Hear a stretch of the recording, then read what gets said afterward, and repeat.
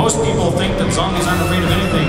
They do not fear guns, axes, fire, explosions, or dismemberment. What most people don't know is that zombies fear needles.